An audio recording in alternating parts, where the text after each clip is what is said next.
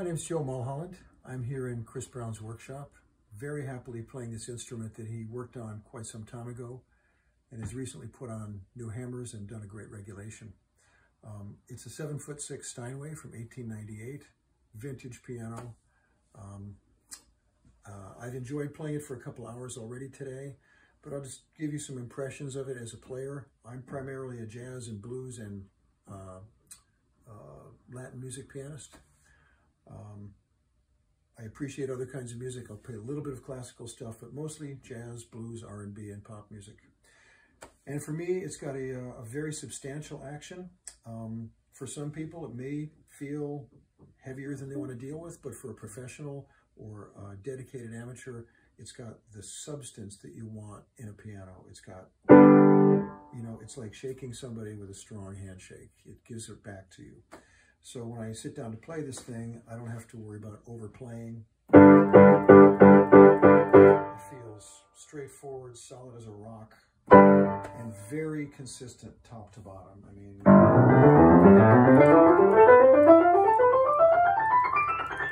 you know, the keys feel absolutely even all the way up and down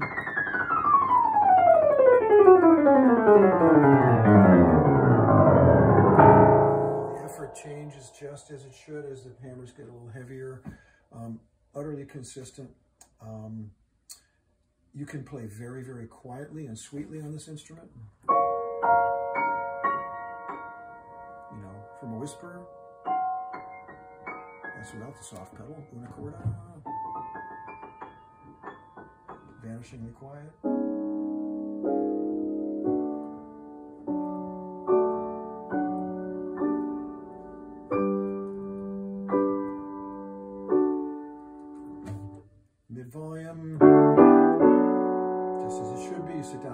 It just comes right out.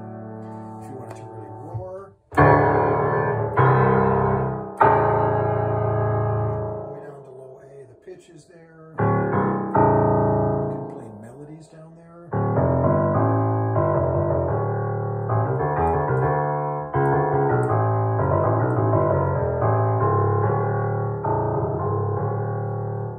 clean, pure, full, rich sound, beautiful. Um, low mid-range, just like it should be, almost like trombones or French horns. And it just, it just makes you want to play it all day. So, um, repetition is good.